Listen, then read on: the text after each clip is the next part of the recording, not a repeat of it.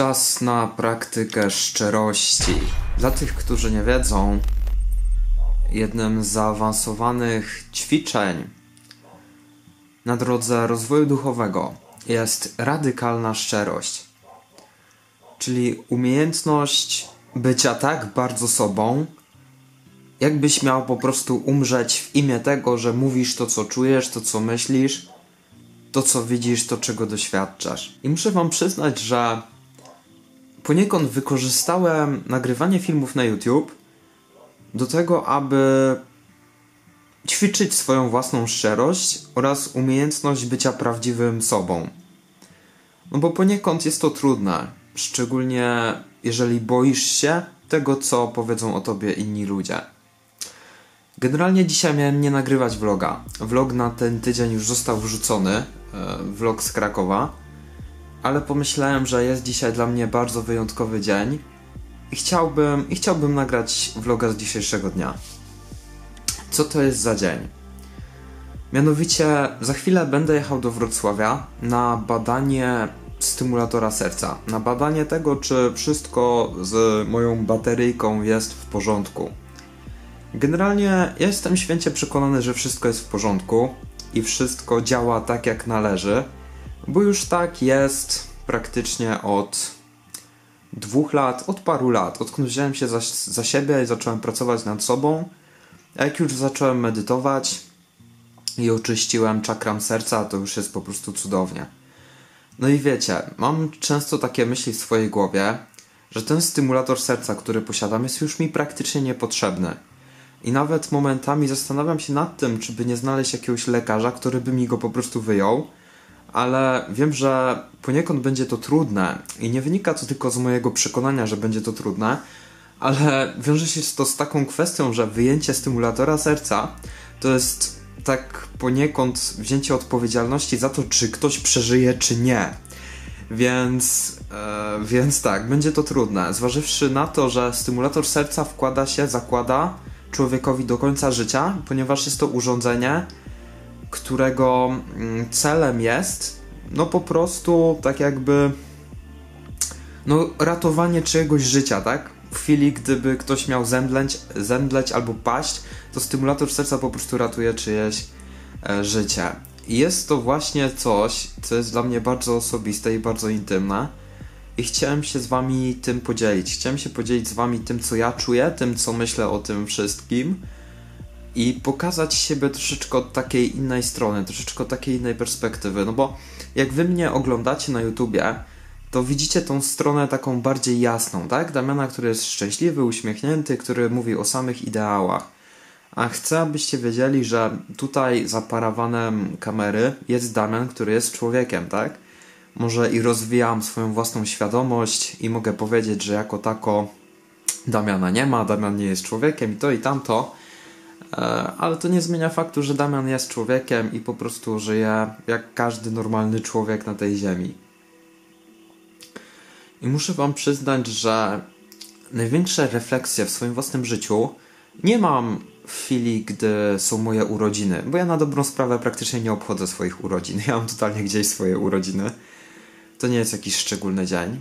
Ja mam największe refleksje właśnie w dniach, kiedy, e, kiedy jadę do lekarza, żeby zbadać mój stymulator serca. Wtedy mam największe refleksje. Dlaczego tak jest? Ponieważ Wszczepienie stymulatora serca było dla mnie bardzo wielkim doświadczeniem e, i sam powód, dlaczego mam stymulator serca, był dla mnie wielkim doświadczeniem. E, może tak, czy to jest po polsku, czy to brzmi logicznie? Tak, mniej więcej brzmi logicznie. I sam proces tego, jak ja się oswajałem ze stymulatorem serca i przywracałem siebie do zdrowia fizycznego, emocjonalnego, umysłowego, duchowego, to również było dla mnie coś wielkiego i jest w sumie nadal coś wielkiego, bo, bo jest to proces, który będziemy wszyscy razem wspólnie kontynuować do końca naszego życia, czy nam się to podoba, czy nie. I wiecie, pomijając fakt, że nieraz miałem poczucie winy z tego powodu, do jakiego stanu się doprowadziłem, że można było tego ominąć, e, że wcale nie musiało tak się skończyć, jak się skończyło, no i pomijając właśnie ten fakt, że nieraz po prostu walczyłem sam ze sobą, że, że wiecie, że mogłem zrobić to inaczej, że mógłbym zrobić coś innego, innego. Wiecie, taki wewnętrzny krytyk i poczucie winy. No to tak, właśnie z czymś takim miałem kiedyś styczność i musiałem sobie z tym poradzić. I poradziłem sobie z tym na wiele płaszczyzn, tak? Na wielu płaszczyznach e, z różnych perspektyw, ale to nie zmienia faktu, że tak było, że to się wydarzyło i ja miałem takie myśli i miałem takie przekonania. W tej chwili jest wszystko ok, bo, bo rozwijałem w sobie poziom świadomości, w którym czujesz bezwarunkową miłość do wszystkiego, no jest ci totalnie wszystko ok, tak? Jest ci ze wszystkim ok. Ale z tego poziomu również można byłoby coś zmienić w życiu. I to jest właśnie to, co chciałbym zmienić w życiu. Moją taką E, moim takim marzeniem jest to, aby znaleźć lekarza, który by wyjął mi ten stymulator serca i gdyby to się naprawdę udało. Nie pytajcie mnie dlaczego, nie pytajcie mnie jaka jest moja motywacja. Po prostu czuję, czuję że nie potrzebuję już tego urządzenia, że ono zrobiło już swoją robotę e, i, i chciałbym, żeby się tak stało. To jest taka moja intencja na całe życie. Mam nadzieję, że to będzie kiedyś możliwe w tej chwili nie chcę się tym martwić, nie chcę, wiecie, bo to nie, nie chcę się tym martwić, nie chcę się wkręcać w jakieś martwienie i poczucie winy, e, bo to było, minęło, jest tak jak jest i to co jest niech zostanie takim jakim to jest. E, mianowicie, e, ale, ale pomijając to, wiedzcie, że to było dla mnie dosyć traumatyczne doświadczenie. Jestem, jestem przykładem tego, że można sobie z czymś takim poradzić i to wcale nie jest koniec świata, jak w Twoim życiu wydarzy się coś strasznego, bo, bo można sobie ze wszystkim poradzić. Wszystkie traumy można wyleczyć i możesz być w pełni zdrowym na umyśle, emocjonalnie, duchowo człowiekiem. I myślę, że ja jestem tego po prostu przykładem. Dobra, ja się zbieram, wezmę sobą książkę e, i pojedziemy do lekarza. Chciałbym wziąć ze sobą kamerę tam do gabinetu, ale nie wiem, czy będzie to możliwe, czy E, lekarze wyrażą zgodę. Poza tym to też jest ich taka osobi osobista kwestia, nie chciałbym się pakować z kopytami. Może się uda, jak coś to spytam. No i zdam Wam relację co i jak. No ja jestem święcie przekonany, że wszystko będzie dobrze, ale, ale tak, chcę po prostu, żeby towarzyszyła mi dzisiaj kamera, bo chcę poćwiczyć swoją szczerość w stosunku do Was i w ogóle. I, I, myślę, że to będzie ważny przekaz. Myślę, że to będzie ważne wideo. Odkrywający trochę tego, co się dzieje za kulisami YouTube'a i tego, jak ja się czuję e, ze wszystkim tym, co robię i jak ja się czuję przede wszystkim z tym miejscem, w tym miejscu, w którym jestem aktualnie. Dobra, ja się zbieram i jedziemy.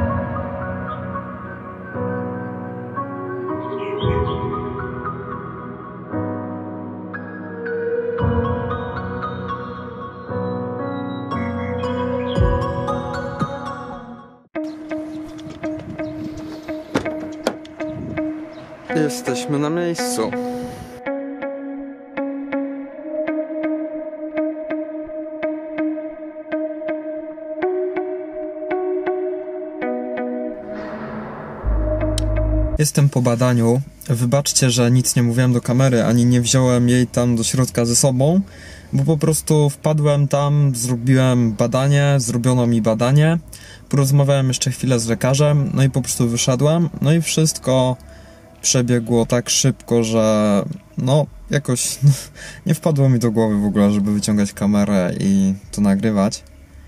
Ale no kiedyś wam opiszę to badanie, może nawet za chwilę. Generalnie e, poczułem się lekko smutno. E, trochę smutno się poczułem, jak tutaj przyszedłem. Może jest to wynikiem moich wspomnień z przeszłości, a może rozmowy z lekarzem. Wiecie co? Ja po prostu wrócę do domu. Tak, tak zrobimy. Ja wrócę do domu i pojadę na chwilę na łąkę swoją i wezmę ze sobą drona. I pojadę na łąkę i opowiem wam, e, opowiem wam jak wygląda badanie, co takiego się dowiedziałem, jakie są wyniki, no i opowiadam wam po prostu jak się czuję. Tak zrobimy. E, także dobra, godzina drogi, ja wracam do domu i widzimy się za chwilę.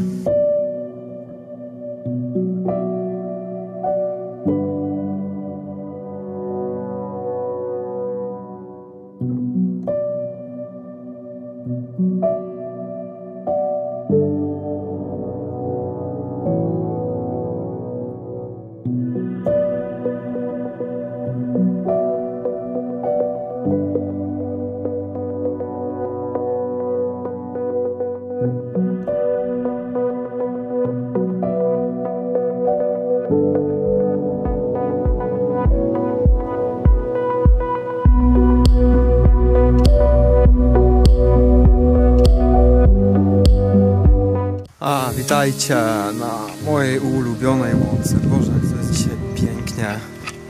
Do lepszej pogody to ja trafić nie mogłem. Słońce jest dosyć nisko. Mam ze sobą drona. Także it's time to have some fun. Czas się trochę pobawić.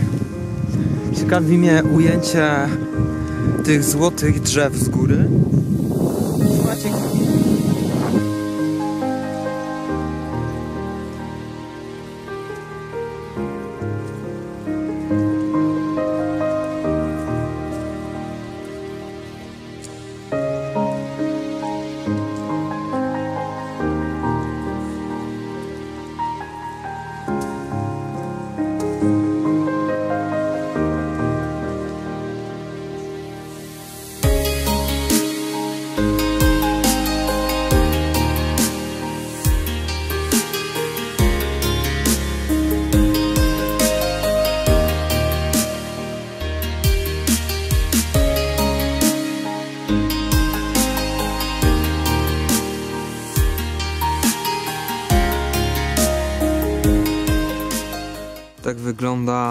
Ostateczna rzeczywistość.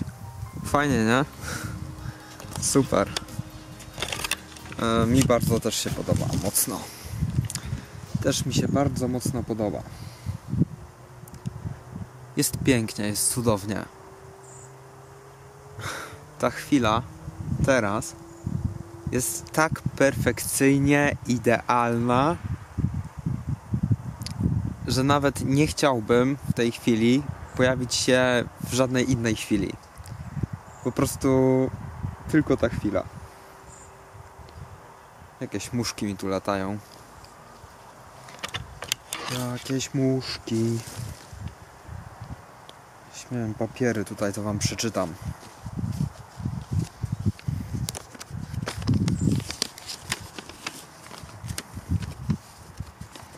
Kompletnie się na tym nie znam, ale parę rzeczy wiem. Wiem, że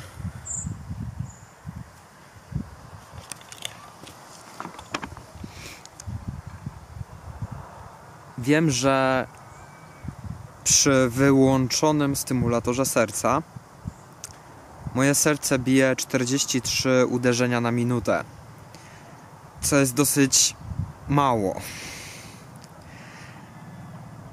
I przy tak niskim rytmie serca, po prostu gdybym nie miał stymulatora, to czułbym się słabo, czułbym się. Słabo bym się po prostu czuł. I ja wiem, bo ja tego doświadczyłem w życiu i wiem, jak to jest kiepskie uczucie. Gdy serce bije zbyt wolno, ma się takie poczucie, jakbyś wypił kilka piw i nie masz w ogóle siły na nic i w głowie się strasznie kręci, bo mózg jest niedotleniony bardzo często i wiecie jak jest to uczucie, jak się nieraz zbyt szybko wstaje i masz takie mroczki przed oczami. To tego bardzo często doświadczałem. Generalnie bateria jest jeszcze na 8 lat i 9 miesięcy. Więc nie jest tak źle. Wiecie? Nie jest tak źle.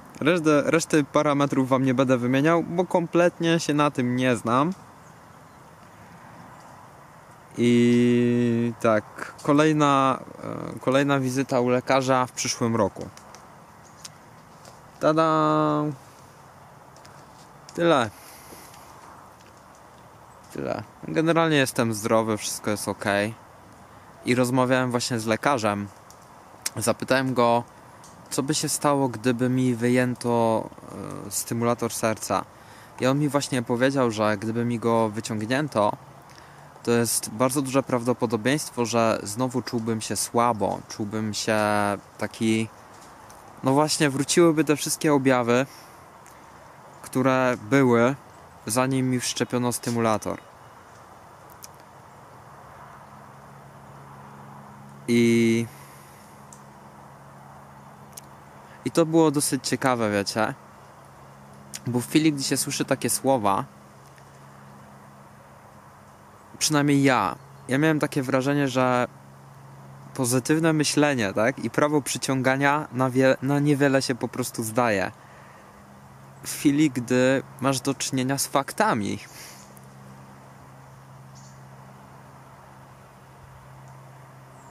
I wiecie,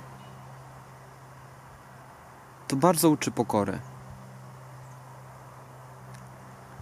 Ja wiem, że przypadki ludzi, którzy cudownie zdrowieją z przeróżnych chorób, z przeróżnych zjawisk są i istnieją i to jest możliwe. I ja nie przeczę temu, że gdyby mi wyciągnięto stymulator serca, to nie byłoby wszystko ok. Ale no właśnie, przy podejmowaniu tego typu decyzji to nie jest łatwe. Wiecie? To nie jest łatwe. I chociaż ja się nie boję śmierci, wiecie? Ja się kompletnie nie boję śmierci. Ja się po prostu kompletnie nie boję śmierci, naprawdę. Mam to totalnie gdzieś. To mimo tego wahałbym się co do podjęcia decyzji odnośnie tego, czy chciałbym, żeby mi wyjęto stymulator serca, szczególnie po tej rozmowie z lekarzem. Bo ja się mogę czuć dobrze i to może być ok. Ja mogę naprawdę czuć się świetnie na co dzień. Ale to wystarczy jedna chwila, gdy czujesz się słabo i po prostu mdlejesz. I nawet nie wiesz, kiedy to robisz. Tak. Generalnie czuję się bardzo dobrze, czuję się świetnie. To jest jeden z kolejnych dni, gdy mam świetne samopoczucie. Eee, w ogóle ostatnio doszło do mnie, coś się takiego zmieniło w moim życiu, że nagle poczułem taką masę energii i taką ilość w ogóle kreatywności i wszystkiego. Otóż mój proces oczyszczania kundalini chyba dobiegł końca chyba naprawdę dobiegł końca. Bo przez ostatni rok czasu, czy nawet dwa lata czasu, czułem bardzo duże nasilone objawy od Kundalini, masę, masę doświadczeń mistycznych, kupę ekstaz, e, te wszystkie takie uczucia negatywne jak derealizacja. Ja to przeżywałem, więc wiem czym to jest. Halucynacje. I przez ostatnie kilka miesięcy czułem osłabienie, czułem troszeczkę obniżony nastrój. E, no i czułem, że nie wszystko jest ok. Ja tutaj nie mówiłem wam do kamery o tym, bo czułem, że to po prostu potrzebuję przepracować sam na, na siebie. I miało to bardzo ogromne efekty na mnie w życiu codziennym i na to, jak się zachowywałem na co dzień. Pojawiały się, pojawiała się złość e, w moim życiu. Naprawdę, dawno nie doświadczałem tak intensywnej złości. No i parę innych uczuć e, czy emocji. No i to wszystko osiadło, wiecie? To wszystko osiadło. Ja mam wrażenie, że że to się tak strasznie mocno ustabilizowało. Ta stabilizacja zaczęła się jakieś pół roku temu i bardzo mocno była we mnie obecna w chwili, gdy byłem na warsztatach, zaczynam medytować. I tak przez ostatnie kilka dni jeszcze bardziej wszystko osiadło. Masakra. Wiecie, jak się czuję? Czuję się tak, jakby.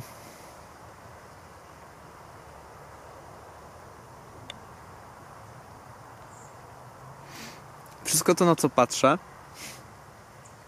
nigdy nie istniało. Tego nigdy nie było. Ta rzeczywistość nigdy się nie wydarzyła. Ja nigdy się nie narodziłem i nigdy nie istniałem. Nigdy. Cały YouTube, kanał na YouTubie, istnienie Damiana. Damian nigdy się nie narodził. Tego nigdy nie było, to się nigdy nie wydarzyło nawet. Jednocześnie czuję totalną jedność ze wszystkim, co, co jest. I wiecie, jak, jak wygląda to uczucie jedności? Ja nie muszę się przekonywać do tego. Nie, nie, nie muszę, nie mam nawet przekonania w swojej głowie na ten temat, że jestem wszystkim tym. wszystkim.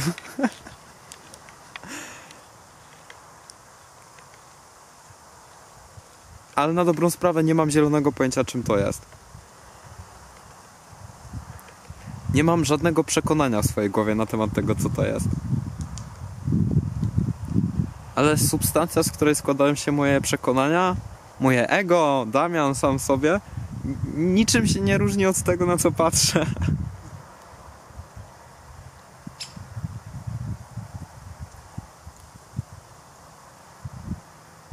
Czuję taki wewnętrzny spokój, ogromne uziemienie.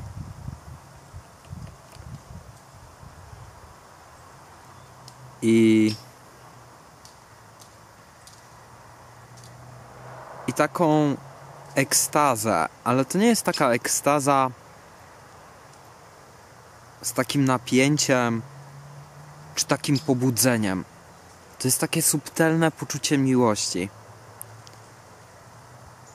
Może je, jeżeli ktoś z Was kiedykolwiek próbował LSD albo psychodelików, to jest takie uczucie miłości, ale ono jest takie, no czuć, że ono jest chemiczne, że ono jest sztucznie wymuszone. No czuć to, po prostu tego się nie da uniknąć. A to, co ja czuję, to jest mój naturalny stan. Po prostu czuję się, jakby to był mój naturalny, totalny stan. Ale pięknie wygląda słońce, patrzcie na to. Wow, nie? Miazga. Bozia patrzy. o ja, wow, masakra, naprawdę. Mówiłem wam, że to jest cudowna chwila. Majestatyczna chwila.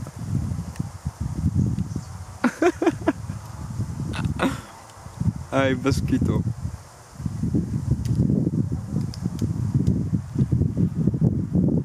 To życie jest najpiękniejszą ściemą, jaką przyszło mi jaką przyszło kiedykolwiek komukolwiek doświadczać. O, dzięcioł. Wali głową w drzewo. Tak. No, to tyle z moich przemyślunków i z całego tego dnia. Fascynujący dzień, nie?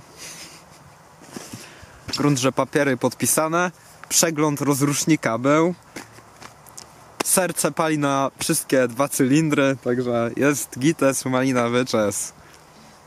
Wiecie, generalnie to mi daje super moce, bo to jest mój taki komputer pokładowy, i czasami udaje mi się strzelać błyskawicami z ręki.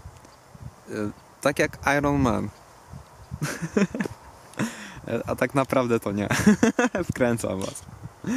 Ja mam na imię Damiano dla projektu Fight Yourself. Daj dla mnie łapkę w górę, napisz pozytywny komentarz, napisz swój własny przemyślunek. Do zobaczyska następnym razem. Miłego. Elo. Buźka.